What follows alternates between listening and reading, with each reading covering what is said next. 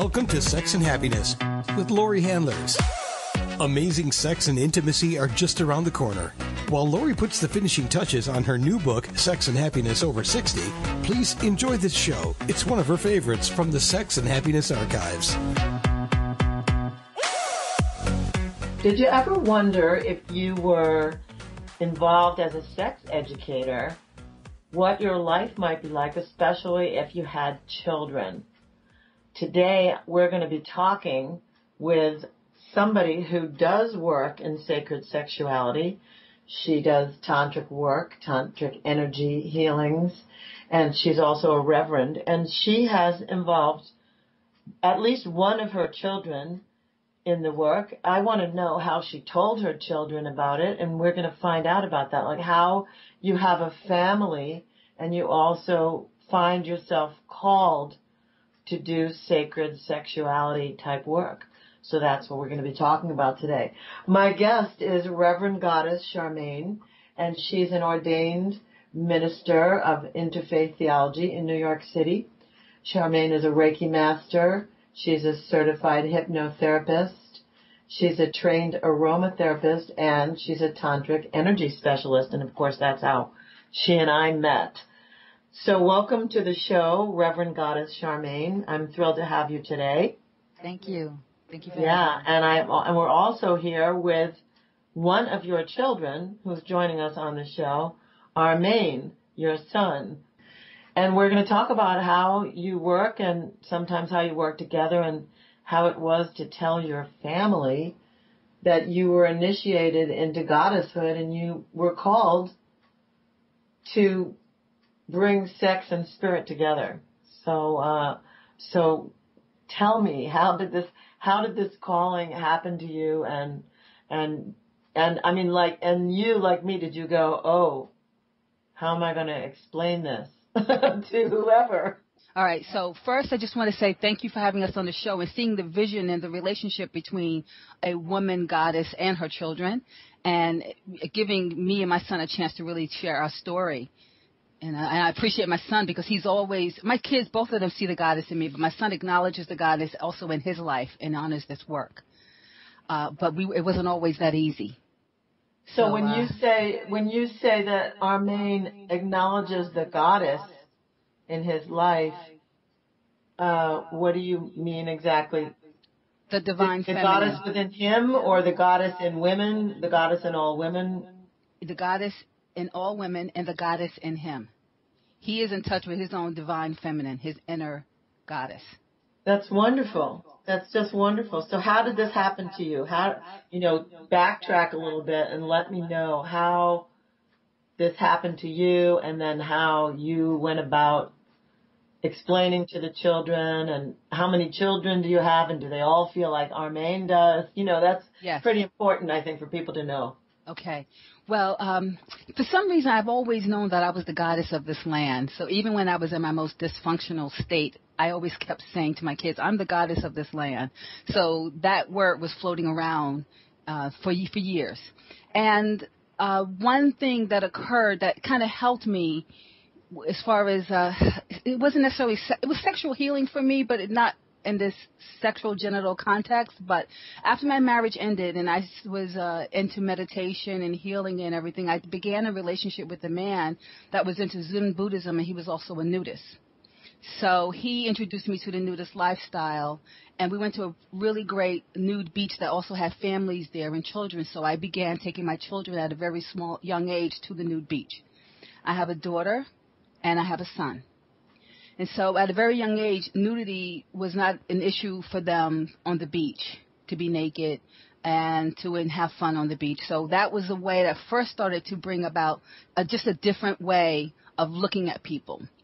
And at home, I became an at-home nudist, so the kids were kind of comfortable with me being naked at home. Um, we kind of evolved out of the beach when my daughter actually was turning 12, going 13, when she started going into adolescence, then she started to view the body more of a sexual genital nature, and uh, things started shifting on the beach and things that she was saying. So we realized we need to take her take her off the beach. So we started going to more clothes on beach. until she could get a handle on the uh, her sexual energy and how it was affecting others because people and men were following her on the nude beach, so we wanted to protect her. My right. son. Yes, so my son Right. didn't have um he had fun no matter where we were, a closed beach or nude beach. But this started to bring in a different understanding and, and acceptance with my kids around uh nudity. I Now- became uh huh. Well, I have a couple questions for you, and and plus you rem- you were just reminding me of something. I I once took my parents to a nude beach, and my father took his clothes off, and my mother wouldn't. And my mother said, my mother said, I don't, you know, uh, let them wonder. And I said, they're not even looking at you. Nobody's looking at you. The one thing that I remember about nude beaches is that people pretty much are not checking each other out. There's less um, sexuality, overt sexuality at the beach on nude beaches than there is on clothed beaches. Exactly, exactly. yes, yes. People but I dress. imagine, I imagine for your daughter it was very challenging to reach puberty and be like out there. Yes, yes.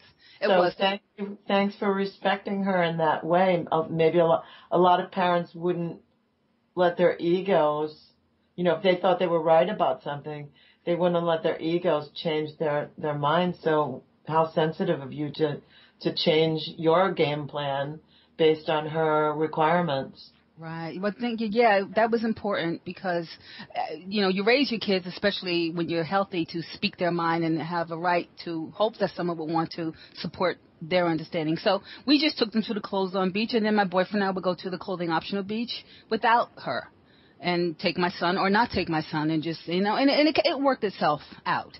And uh, then coming into this work, though, you know, I I wasn't al- I always knew I was goddess and I spoke that way to my kids, but as I really started to become healthy and whole, um, I first was a surrogate in New York City. And I was one of the, I think I was probably the only African American surrogate in Manhattan during that time in the early 90s.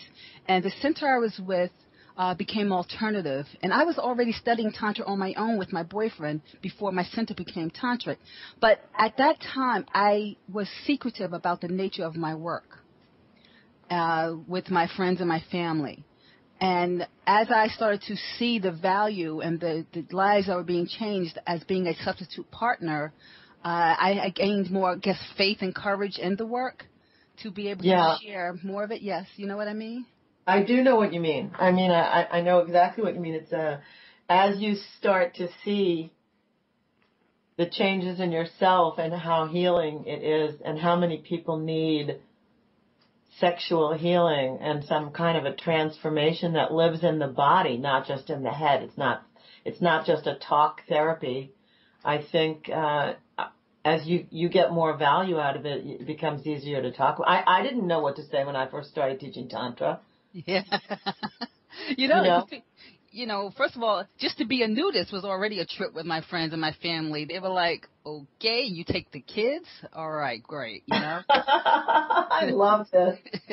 so, uh, so, but then, you know, what really helped me, then we became alternative and we all started studying hypnosis. And then I trained with the very woman, I was reading Margot Anand's books and I had the opportunity to be trained by her in New York and California in the 90s. And as that was going on, and I was also studying Reiki and studying psychic development with Alan Seale. Uh, I started to hold on to my pussy and get this power in my heart, and it just everything became powerful and, and possible through the sexual energy. And I went into seminary and also started counseling um, with a spiritual t- teacher healer to understand what was happening to me that seemed like everything was sexual. And that's where I started to reveal who I was to my partner who actually ended his relationship with me because of it and actually came Really? back. Yeah, but he came back a year and a half later. And you know. is he with you now? No, we're not together now. Not together now. Right. But what to talk about that a little bit because I, I talk about the breakup.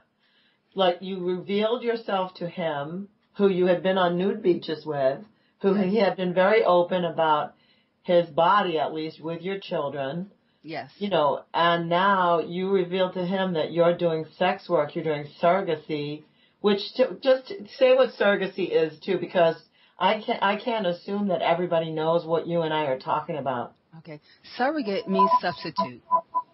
So I was a substitute sexual partner for people that had sexual uh, dysfunctions uh, related to either just functioning or or emotionally, you know, where you would become their partner so that they could learn how to be with women when they would leave um, the session. And you know, it took various shape. It wasn't even just in technique, but it also was in hugging and holding and talking and dating and dancing, and it was just intense. So you okay? Thanks for saying that because I think it's really important that people know what surrogacy is, and um, how. Well, so you so you you revealed this to your partner and your partner breaks up with you? I mean. Yeah, see, the way it happened was I was a surrogate. I worked for the center I was with for six and a half years. I was a surrogate for three and a half years, evolved out of surrogacy, and as I became uh, tantric and a healer and went into seminary, there was no more that dishonesty and I couldn't hide yeah. who I was and um and be authentic to my work. So and my boyfriend knew that because once he had asked me if I was I always told everyone I was doing um, meditation and some some light sensei touch and a camisole, but I wouldn't go beyond that. So everyone knew that much. I felt like a little bit of truth was okay, and I could try to get rid of the rest. But he he asked me once, was it was it more involved, and I told him no. But he knew once I was ordained that I could not lie to him. And so the day of my ordination, the evening after the reception of my ordination, we were home and relaxing. He said, I want to ask you a question. He asked me, so all that time when you were surrogate, was it was did was sexual intercourse involved and what was going on? And I said yes. And uh, then he left that evening. And um, I said, but I stopped over three and a half years ago. That didn't matter to him. But at the same time, he taught me tantra. We studied together, but he couldn't handle that part. You know, being a surrogate wasn't even tantric yet. Being surrogate was just a substitute partner with a gift. Right. Uh, and after I was ordained, and then I was seeing a spiritual counselor, because at this point, I, we are still going back and forth to California, New York, and studying with Margot Anand, and the center is expanding, and I became a spiritual counselor for the staff that worked and I was doing body work for the surrogates that were working there. But then the goddess kept coming out of me where people were always telling me what was going on with them sexually. Um, I was trained in Reiki, and then the energy was just bringing up all the sexual stuff, and people was talking like, "This never leaves me. Why?" And I really was getting confused by it. And a man saw me once, a minister, when I came out of the room. He saw my aura. He said, "Wow, look at you." And this Reverend Georges counseled me for six months and helped me to understand how this sexual energy was working with me, and it was truly goddess. And from that oh. point, could you just say something about what that means, really, the goddess energy? Uh, the goddess is also what we call the divine feminine. It is a creative principle that is part of us in our bodies as God and goddess. The goddess, through me, uh, is of a sexual vibration that can heal others to heal them sexually and spiritually. My particular, the goddess, when a person is saying that they are goddess or the goddess is in them. They are saying that they are whole in their body, and also in that body there is a line of consciousness that extends out of the body into the energy field around, and the goddess is like the earth being that is connected to all life. And so, of that, there is a vibration of inner fire and love and passion that we universally hold for all it sounds kind of, you know, it's really simple, but it, it is an acknowledgement of the oneness in me and the oneness in you through Goddess. And my Goddess actually happens to be of a love vibration, of a sexual vibration that is connected in my heart, and I work in that realm. I work in that shadow energy most of the time. So good. Okay, good. Thank you. Thanks for clarifying that.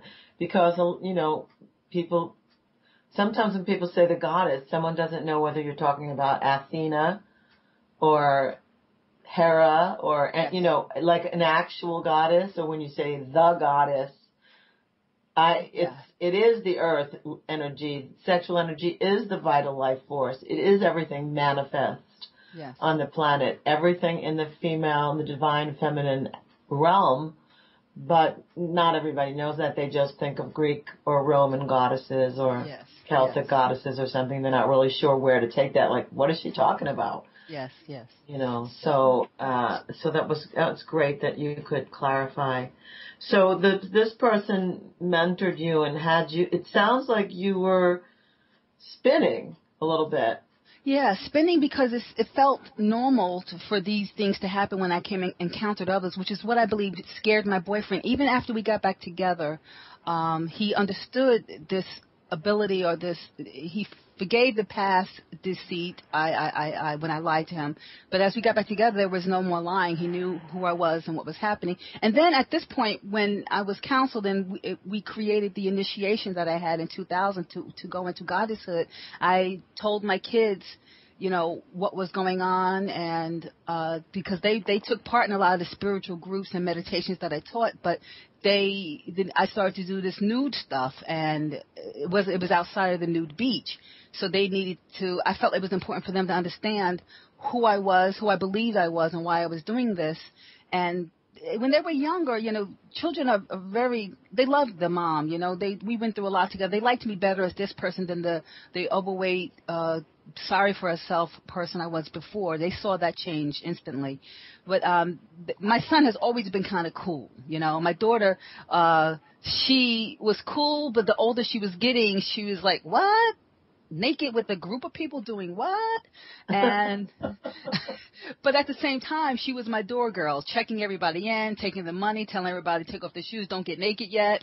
and, you know, and my son wants to peer in, but he's too young. He can't be in there just yet, you know. My, my daughter's the oldest.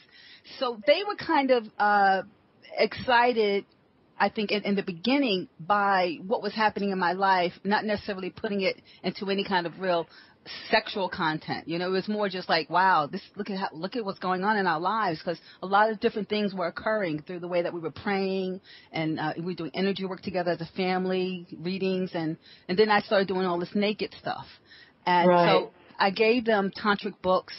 My boyfriend is like watching me now. We're back together, and I think what started happening was I became stronger sexually.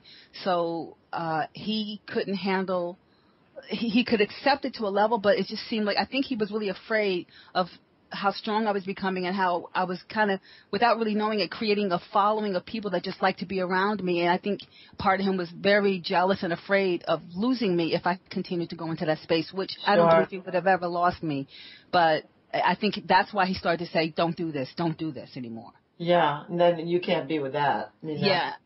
That's, yeah. suppression and suppression would just take you back down the the road you already had been once you've opened up this door yes. there's no way that you or i or anybody who's tapped into this energy can go back and it was amazing to me and very sad to me because he was the one that introduced it to me I was like, God, and but my so my kids are kind of chilling with the things that are going, and my mom is kind of trying to figure, what are you naked? What? What?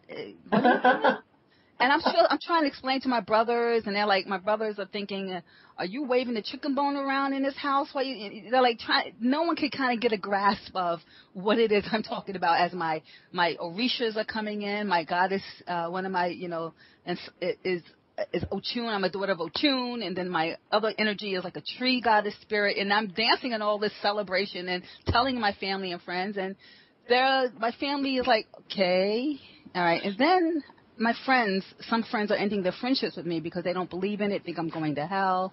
So yeah, I, I just had that thought. I mean, I, I had a, if you hadn't said that, that would have been my next question. Has, have your friends and associates changed? Maybe you can't change your family, but your friends and associates have probably changed to, yes. um, to, to be more in tune with who you are now, and um, and I imagine that some of your old friends would have liked you to have not changed. That some yes. people in your life probably wanted you to stay fat.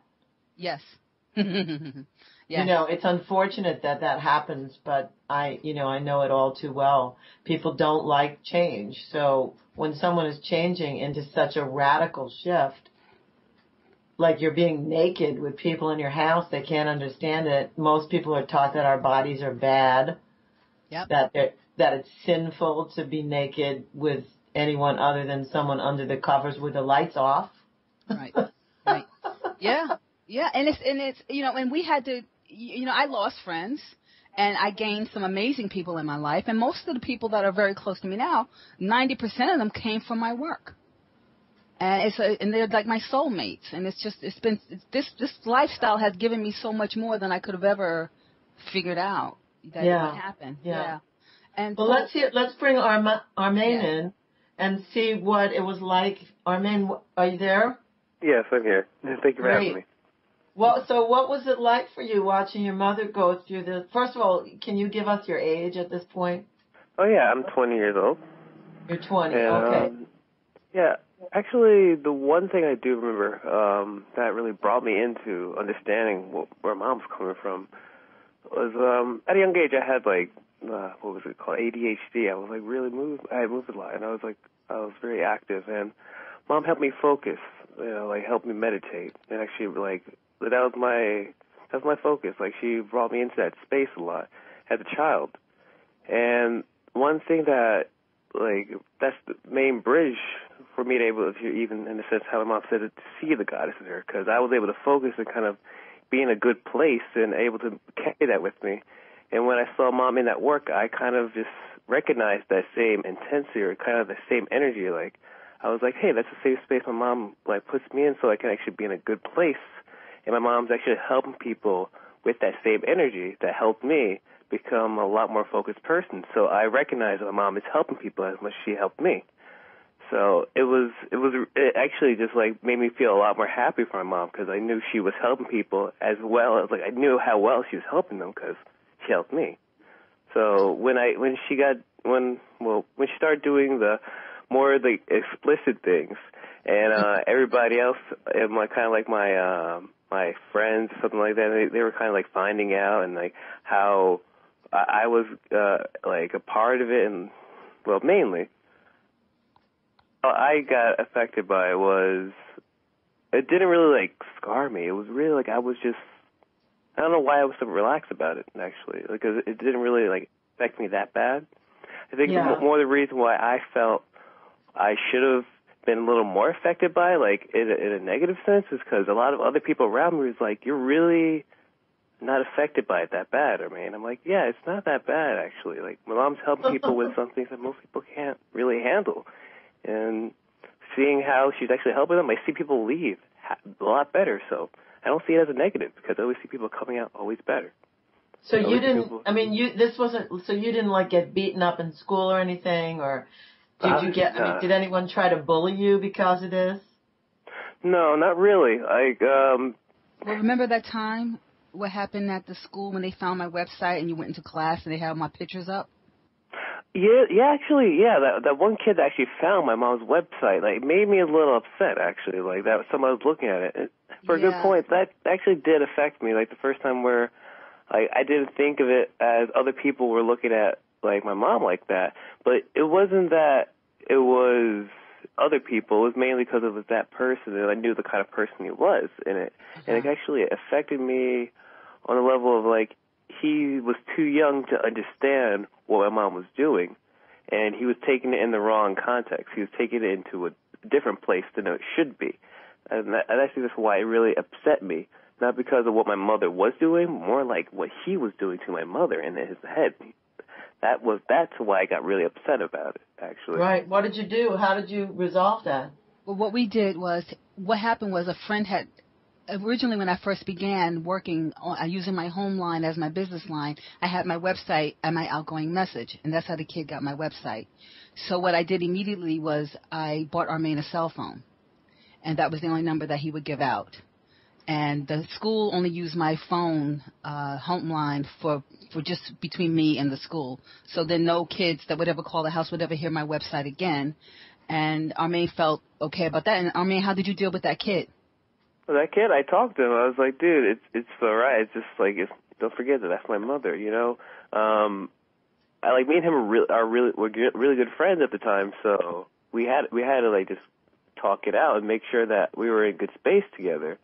And like I was just able to talk to him, just like, dude, we just got to get past this. It's all right, you know. Like I know you think my mom's cute and everything, and you, you have that website, but like you're too young to be going going into that right now. And like I had to at least in some sense enlighten him into what he was really looking at. Like it's more, it's not just pictures of a mom, you know. It's she's helping people with their problems and everything. She's helping people Right. with certain things that most people don't even know, especially around that age. He doesn't. He didn't like. I don't think he even comprehend what I was trying to perceive, like tell him. But I About did the best way I was could. it? for About what I how old was he better and you at that time?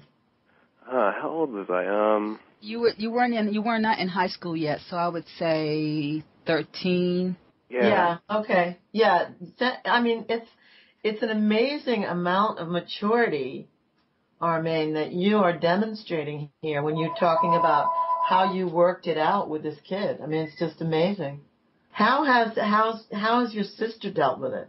How's how has your sister dealt with, you know, the fact that your mom is a sex educator, has been a surrogate, and people were hanging around naked in your house? Mm, like I, I would say, I was uh, I took it a lot better than Arsha. I think Arsha understands it as well as I do, actually. And actually, Arsha understands a lot more than she puts off. That's the funny thing. Because Arsha is somebody that's going to be re, like resisting the whole teaching of mom sometimes, but uh, when Arsha's resisting it, it seems that it's it, like leaves such an impression on her that she's like re- more resilient with it. Like when some sometimes when me and Arsha go to that space, like me and Arsha are able to actually connect spiritually and actually commune, and Arsha hardly does that with a lot of people. Arsha's very receptive. I like she's definitely my my mother's daughter, and it's it's it, it's uh it's an it's amazing. But when my like I know my sister like at at certain points doesn't completely agree with everything that my mom is doing, but in a sense like she she's not gonna stop mom from doing this, and she not the, she don't wouldn't be that person because mom oh my sister is also someone that saw how my mom was helping people. Like we both saw this, and certain points where like if Arsha was uncomfortable about it, she would talk to me about it and just say like. Uh, it's, like it's not really like I don't feel like it's good for us as as kids to be like have a mother that's like hel- like really putting us in situations that like most people would perceive to be not safe for us. And I would tell Arsha like I know, but nothing as bad has ever come to us. It has only helped us grow. And we would we would actually uh, like talk about this. And I think like I know Mom and Arsha have talked about it. And I, I do know that me and my me and my sister have to talk about it a lot because Arsha needs to filter this. And I think Arsha She- finds, yeah. How how how much older than you you is she? Um, oh, I'm 20, and for some reason I'm drawing a blank. How old is Arsha right now, Mom? Twenty three. yeah, she's 23. So she's three years older. Yeah. And I just, you know, do you, um, Charmaine, do you feel that, uh, I mean, is, I, I hate to put it like this, but I think sometimes like, you know, girl children have an investment in resisting their moms and boy children have an investment in not resisting their moms. I mean, how much of this is, is just based on gender? Yes, it is. My daughter, um, she she goes through phases. I think sometimes where she's like, "Why does my mom have to be a goddess?"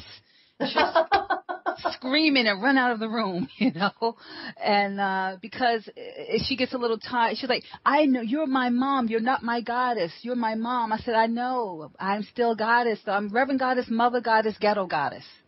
I'm always goddess." And that Said, and so you are a priestess. You are learning about this energy that you have and how to handle it. So she will yell that out in frustration sometimes.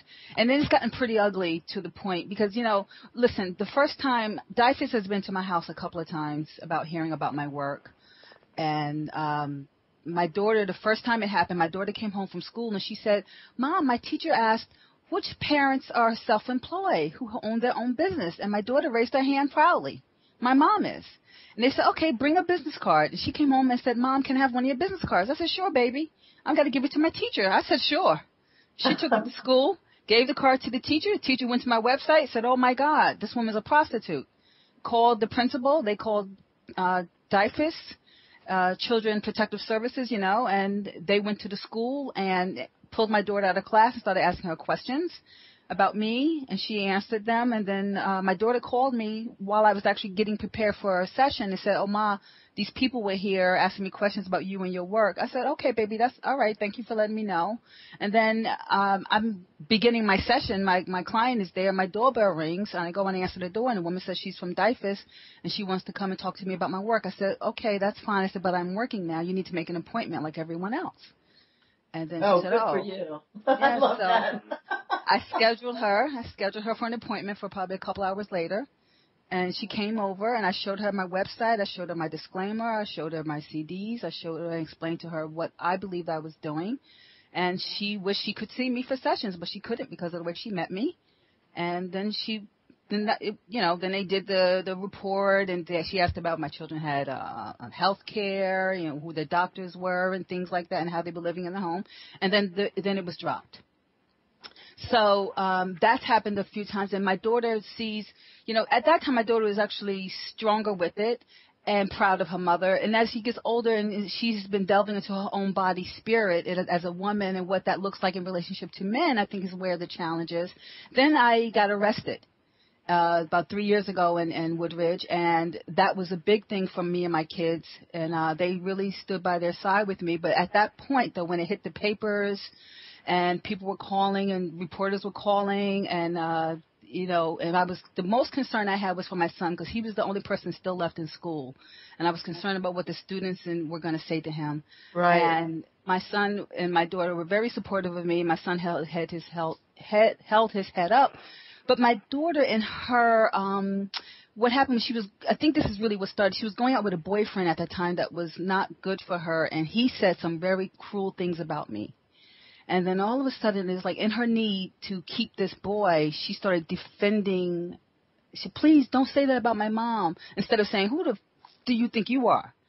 And yeah, I understand. She, she wasn't yeah. strong enough. Well, and she started hey, reflecting she was just this blossoming. She was just blossoming, and girls, you know. Yeah, yeah, and then starting to, to be sexual with boys and everything. And then she started saying really mean things to me about my work and who I am because she, it was too overwhelming to hold the, the, the balance. And Armane was the opposite. I didn't go completely to trial because the exposure of, uh, you know, it was in the papers, sexual healing goddess prostitute arrested, alleged goddess arrested, all these things that were coming out.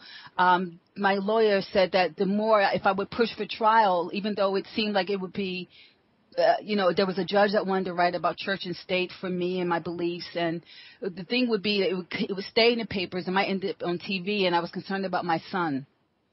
So listen, I, you know, through all of this, what's coming through, I just have to say what's coming through. You have this calling. You're doing amazing healing with people in the tri-state area, New York, New Jersey, and Pennsylvania, and and uh, you and you're a mother. Yes. And you're a caring, loving, amazingly powerful mother and it's and it's so it's so it's like you had to think about that first before yes. you were going to like sort of fight for the defense. Yes. like what was it what kind of a mess was this going to make in your kids lives? Exactly.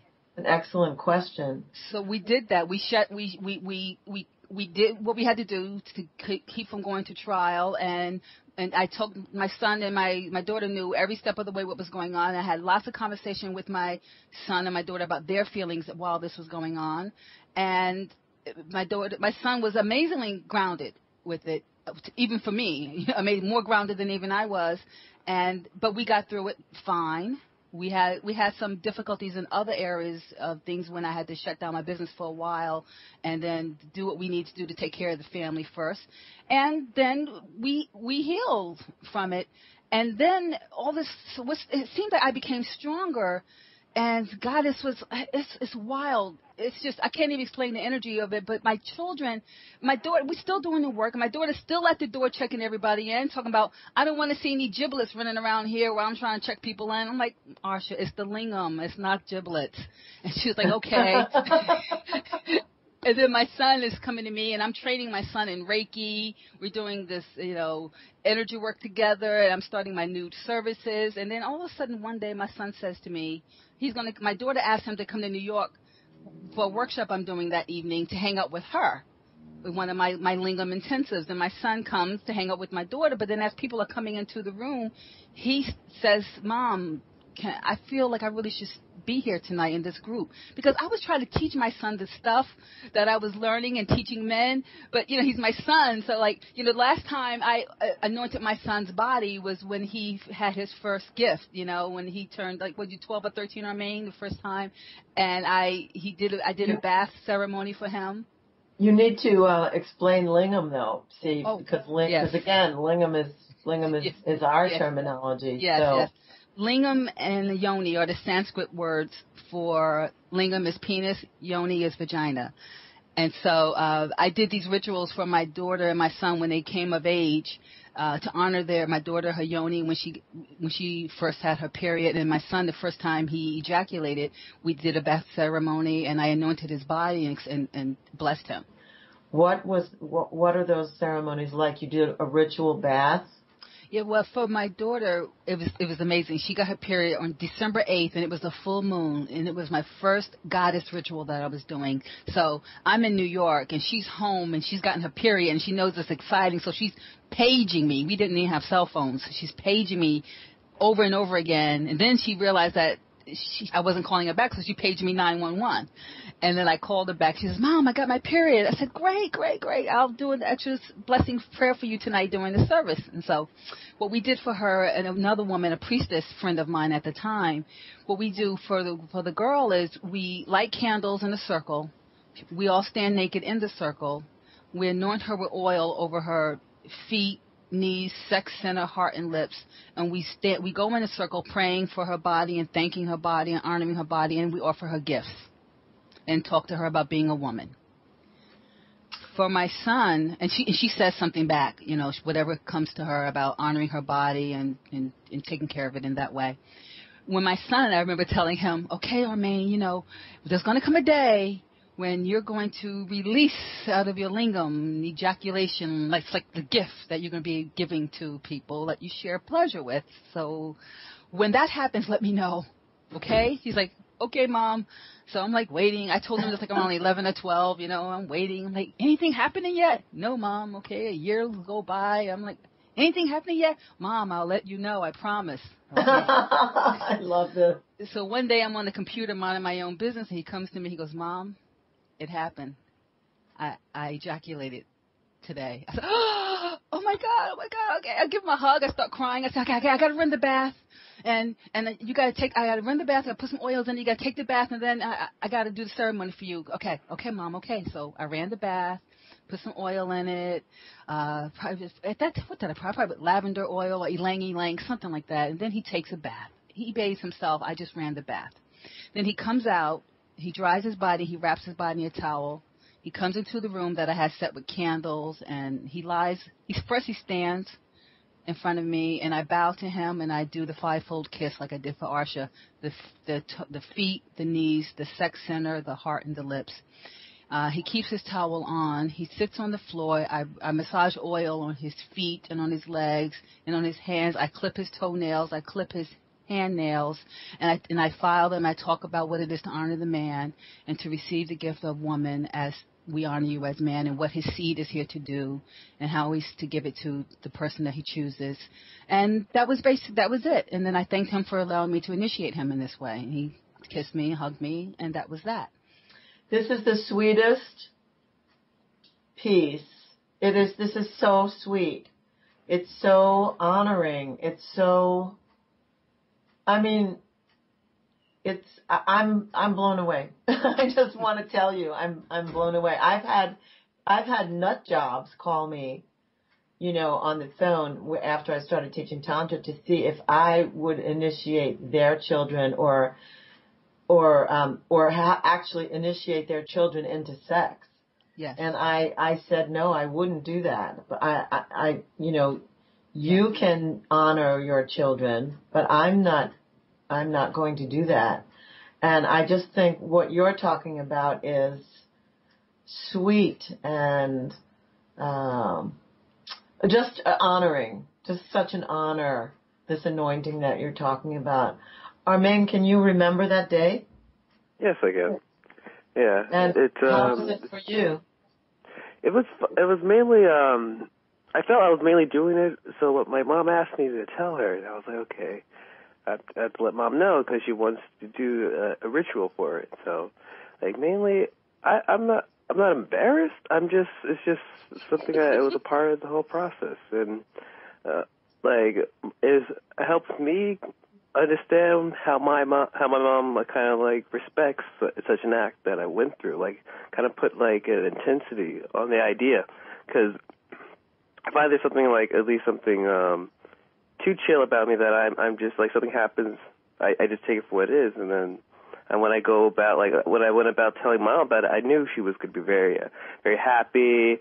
I just like just go crazy about it. So I just had to be able to be in my chill space so I won't be overwhelmed by my mom's energy like it usually is when she's she's really happy about something. So like yeah. I was I was happy to go through it and I felt I felt it, it helped me uh gain a respect for what I was doing and, and actually put put it in a, in a place that it was sacred that what happened was sacred for me, and I need to treat it as such, and actually share it as as what is sacred. I think that's what, what that helped. Would you say? Would you say that you have, if we took you and your friends, let's say, and put them, put you all next to each other, mm-hmm. would you say you have a healthier sexual attitude or health, healthier sexuality than friends who don't go through rituals like this or don't know? I mean, it would seem to me you would, but I don't want to make that assumption. Well, in in a sense, I I believe to a degree, um, I like when my friends are going through stuff when it comes to girls and everything, uh, I I give them advice, um, and sometimes, yeah, it, it does seem like they have their their perception of sex that's more accurate for their age, and um, everybody kind of like I I, I haven't I just I'm realizing this more and more every day that they as I started giving advice to them, they kept coming back for it. So it does seem like I do give a lot of advice about sex, and they they ask for it more the more, and I I stopped like just like you know like I, I would people like you know anytime you need to ask me for something about advice or anything, just ask me. I stopped saying that, and like people just started coming to me, even even though I meet for the first time, they just feel like it ask me about it. And if kids around my age, like they, I realize my friends are becoming more open because of uh, I feel like I'm the br- I'm kind of a bridge for them to kind of see that uh, even kids around our age can tap into what whatever I'm tapping into in their eyes, and in a sense, yeah, they're, they're growing more when they're around when they're around me, and I bring, bring it up to them, and then then they find their own avenue into it. They find that they can at least align them their themselves, like I did. Like I found my own teachers and align myself. So we we we all help each other grow especially yeah. at our, our young ages. Yeah, well, it's uh, it's great. Your attitude about it is just great, so phenomenal, and obviously your mom gave a lot of thought to this. she gave a lot of maybe not thought, even thought is the right word. Maybe heart is the right word. Your your mom gave a lot of heart into your coming of age, and uh, there's something to be said about that. There's really something to be said about that. That's powerful and potent. Yeah. When Armane, when Armane asked me that day in the city when Arsha was running the door, see, my daughter loves my work when she can get the money. She's cool with it. Then I love my mama, the goddess, you know. So I always loved her having her at the door. When Armane asked could he take part in my class that night, I was floored. I said, "This class, the most explicit class, this one?" He's like, "Yeah, I think it's time for me. I'm ready." And I said, "Well, I gave you the book." you just read the book? you know, he's like, I did read the book, Mom. I want to take oh, the class. I want to mention your book, by the way. You have a book, right? It's called The Sensuous Mystic, Uniting yes. Sex and Spirit. Yes. Where can people get that book? From my website, sensuousmystic.com. Sensuousmystic.com. I think we should spell that for people, sensuous mystic, because so I'll just spell it out. S-E-N-S-U-O-U-S M-Y-S-T-I-C, sensuousmystic.com, and there you will find the Reverend Goddess Charmaine. And if you're lucky enough to go to a session with her, you'll probably also meet her son, Armane, who is uh, who's been wonderful to be our guests today. Yeah. Uh, is there anything else you'd like people to know? Anything else about reaching you or anything, any one tip that you could give? Okay, uh, just one tip is important to just allow yourself to thank your body for being with you all these years because your body is a holy temple. And when you thank your body and bless your body, you develop a healthier body spirit consciousness. And that can help you That is so great. I do that every day. That is really wonderful. I bless my cells. I bless my body parts. I bless my whole body. So it's a wonderful, wonderful tip to give people. Well, both of you, the Reverend Goddess Charmaine and Armane, it's wonderful to have you. It was a very enlightening conversation about parents and children, a whole new breath of fresh air. So thank you both.